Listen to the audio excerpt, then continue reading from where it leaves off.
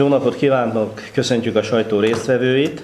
A mai sajtótájékoztatónk témája azonnali fizetésemelést Magyarországon és Ajkán is. A sajtótájékoztatót Gőgöz Zoltán, országgyűlési képviselő, a MSP elnök helyettese, és jó magam Horváth József, Ajkaváros alpolgármestere, az MSP Ajka és térségi szervezetének az elnöket tartjuk. Hölgyeim és uraim, Ma nem lehet sikeres az az ország, ahol minden második ember sikertelen. Mondta ezt egyik kiváló magyar szociológus. Ez az egyik oka annak, hogy ma közel 600 ezer honfitársunk küld, külföldön keresi a boldogulását. A második ok pedig, hogy itthon, ha dolgozik is valaki, nem tud belőle tisztességesen megélni. Ma Magyarországon 4 millió ember él létminimum alatt, a legutolsó KSH által kimutatott adat szerint ez az összeg 85 ezer forint per hó. A KSH ma nem számol létminimumot, de ettől még aki ez alatt a szint alatt van, vagy e körül, nagyon rosszul él. Jön a kormányzati propaganda, jól publikálható, a viszonylag alacsony 7% körüli munkanélküli ráta. De tudjuk, hogy ezt a számot nagyban javítja a közmunka. De akinek csak erre van lehetősége, a körülbelül nettó 53 ezer forintra ennyi bért keres havonta, ez nagyon kevés. A legnagyobb probléma azonban ott van, hogy a, mink- a munkabérből a legtöbb ember egyszerűen nem tud megélni. Ajkát sok mindenben a jók között említik. Például a nemzeti össztermék 1%-a a városban képződik, közel 15 ezer munkahely van itt, ahol 31 ezeren élnek. Nem a munkahelyek hiánya van most jelenleg nálunk, hisz a munkanélküli ráta 2,8-3,2% között van, és jelenleg 3-400 fő operátor, szakmunkás, technikus és mérnökember hiányzik a foglalkoztatási rendszerből a város vállalatainál. Ajkán is ugyanaz a gond, mint Magyarországon a legtöbb településen, hogy a bérek rendkívüli alacsonyak. A vállalkozások nagy részénél a többség jövedelme minimálbéren van, ami nettó 73 ezer, 76 ezer forint között mogózok. És ez teljes munkaidős létszámnál van. De elmondhatjuk, hogy az egészségügyben, a szociális szférában nagyon rendkívül alacsony a többségnek a bére. Tehát nem csak Magyarországon, hanem Ajkán is tetten érhető a dolgozói szegénység. Ma már a fizetőképes kereslet hiánya a hazai fogyasztás és a szolgáltatások bővülésének a legnagyobb akadálya. Nincs elfogadható bér, de nincs munkaerő sem, hiszen aki nyelveket beszél, jól képzett, ennyi pénzért nem dolgozik itthon, főleg úgy, hogy tőlünk alig pár száz kilométerrel, a heti hazajárásokkal, kevesebb munkával, az itteni jövedelem többszörösét lehet megkeresni. Itt az idő az azonnali fizetésemelésre Ajkán is. Ma már városunkban van olyan cég, aki felismerte ezt a problémát, és közel 20%-os bérfejlesztést hajtott végre a közelmúltban. Mivel nincs szabad munkaerő a környéken, a cégek egymástól csábítják el a munkaerőt. Ajkán most egy azonnali 20%-os munkabérfejlesztésre lenne szükség indításként, és természetesen a továbbiakban is, emel, továbbiakban is emelni kellene a béréket. A 28.500 forintos minimálbér a minimál nyugdíj, elnézést, a nettó 53 ezer forintos közmunkásbér és a nettó 73-75 ezer forintos nettó minimálbér, kihangsúlyozom, hogy nettó minimálbér, ami a létminimum alatt van, nem tartható sem Magyarországon, sem Ajkán.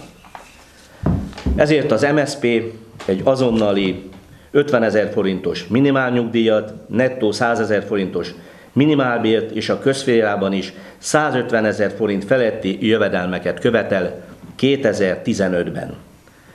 Hölgyeim és uraim, most átadom a szót Gőgös úrnak, néhány gondolatot országos viszonylatban is világítson meg. Parancsoljon. Köszönöm szépen. Jól látható, hogy egy olyan városban, ahol gyakorlatilag nulla munkanélküliség, ez a szint, ami, ami nem munkanélküliség, és milyen problémát okoz a fizetéseknek az alacsony szintje.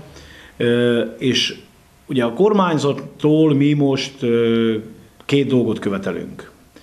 Az egyik az a kiadás csökkentés, mármint nem a saját kiadásai, az egy külön sajtótájékoztatót megérne itt újabb minisztérium, az újabb minisztérium kapcsán, hanem az embereket terhelő kiadások azonnali csökkentését. Ugyanis például az energiaszektorban teljesen nyilvánvaló, hogy most egy azonnali 20%-os energiárcsökkenés lehetne, és most már nem csak az árképzés van a kormány nyelvében, hanem a működtető vállalkozások is. Tehát ez egy, ez, ez, ez egy elkerülhetetlen történet, és nagyon galád dolog lesz, hogyha ezt nem teszik meg, mert akkor azt jelenti, hogy spájzolnak, és majd nyilván a választásokra koncentrálva próbálnak majd valamit. Ez az egyik. A másik. Évek óta mondjuk, hogy a magyar mezőgazdaságnak, de az egész agrár, agrár gazdaságnak az egyik óriási problémája a hatalmas áfa. Tehát az élelmiszer áfa nem tartható ezen a szinten, részben azért, mert a alacsony fizetések miatt az emberek egy része most már az alapvető élelmiszereket se tudja megvenni. A másik, hogy nem lehet megfogni a fekete gazdaságot ezen a területen. Tehát ez, egy, ez egy szintén egy kiadás csökkentő követelésünk. Ezzel, kapcsolatban ismét be fogjuk nyújtani a parlamentnek azt a csomagot, ami egy abszolút precízen kidolgozott és nagyjából egy éven belül visszatér, megtérülő élelmiszer áfa csökkentés jelentene. Nem csak egy, egy tételnél, mint a sertés hús, hanem ugye nagyon sok, tehát konkrétan 5-6 egyéb közfogyasztás, leginkább, közfogyasztás által leginkább érintett körbe. A másik, amiről a Jóska beszélt, a fizetésemelés. Ugye a kormánynak egy dolog azonnal a kezébe van, ez a közféra. Mi azt mondjuk, hogy érdemi fizetésemelés a közférába az MSZP kormány alatt volt 2002-ben. Érdemi. Azóta voltak persze tódások, fordások, meg különböző életpályamodelleket jelentett be a kormány, viszont aminek a végrehajtását mindig odébb rakja és, és nagyon galább módon kommunikál, mert beszél a pedagógusoknál egy 40%-os béremelés, vagy fizetésemelésről, közben kiderül, hogy ez az arra az évre tervezett 20%-os emelésnek a 40%-a. Tehát ugye ez azt jelenti, hogy valaki kapott 1000 forintot, valaki 5 valaki meg semmit. Tehát ugye ez a, ez a probléma vele, hogy nem korrekt a, a kommunikáció, mert aki nem, nem ebben a körben dolgozik, az azt hiszi, hogy hát ott miért reklamálnak, hiszen óriási jövedelmek vannak. Mi azt mondjuk, hogy a közférába nem lehet diplomás ember nettó 200 ezer alatt. És ez a teljes közférára igaz. Mindenkire. Aki a köz, valamilyen módon a közszolgálja, ez nagyjából 700 ezer emberből a diplomás ö, ö, alkalmazotti kör, és föl kell hozni az egyéb nem diplomás ö, foglalkoztatottakat is legalább 150 ezer forintra. Ezt körülbelül, miután látjuk az átlagot, egy azonnali 50%-os fizetésemelés oldaná meg átlagosan. Látjuk, hogy a kormány próbál ebbe a témába, tehát már nem hatástalan, amit mondunk, mert ugye ezt most már kb. egy hónapja kezdtük el, és annak apropóján, hogy a kormány bejelentette, hogy a felső vezetői kategóriába, az állami szektorba 5 millió forintra emeli a korábbi 2 milliós bérplafon. Tehát magyarul, hogy értsen mindenki, ez azt jelenti, hogy a posta vezérigazgatója pontosan 70-szer annyit fog keresni, mint a postás. Na most még úgy gondoljuk, az nem normális. Tehát ez nem tartható. Nem összevethető a két foglalt munka nyilván, de a világon ilyen sehol nincs. Tehát vannak különbségek, ezt nem is mondjuk, de nem ekkorák, és ezért követeljük azt, hogy ez nem, nem lehet. Ugye a, a Jóska alapvetően a versenyszféráról beszélt. A közszféra mellett az a másik terület. A versenyszférában a kormánynak az a lehetősége, hogy olyan szabályzás meg olyan adórendszert csinál, amiben a vállalkozásokat terhelő adók nagy részét visszaveszi azért, hogy egyértelműen kikényszerítse a fizetések emelését. Nagyon sok cég a kormányzati bejelentések nélkül is meglépte ezt. Kiskereskedelmi vállalkozás nagyon nagy volumen fizetésemelést jelentett be, ami nyilván az egész szektort fogja majd húzni valahogy, de mi azt tartanánk korrektnek, hogyha az adópolitika úgy lenne, hogy az alacsony fizetési kategóriákat vagy nem terhelni egyáltalán adó, vagy pedig nagyon minimális adó terhelni csak. Tehát mi kettős két oldalról gondoljuk ezt a fizetésügyet, részben a közféra, ami azonnali lépés, és meg lehet lépni, hiszen 3% körüli gazdasági növekedés egyértelműen fedezetet biztosít ennek a meglépésére. A másik, hogy a versenyszférába levő terheléseket pedig úgy kell megoldani, hogy a, vállalkozásokat ne terhelje tovább mondjuk egy nagyon-nagyon intenzív, mondjuk például nettó 100 forintos minimál béremelés. Az egyébként alulról tolja a többit is, tehát azt jelenti, hogy nyilván sokkal, de sokkal jobb fizetés kategóriák lesznek Magyarországon. Mi nagyon sokat konzultálunk az érdekképviseletekkel, ők ezzel egyetértenek. A világban ez mindenhol úgy zajlott le, el ezelőtt 30-40 évvel a fejlett világban, akik, ugye, akik, akik most a minták, nekünk, hogy közös fellépés volt a baloldali pártok, illetve a szakszervezetek együttműködéseként.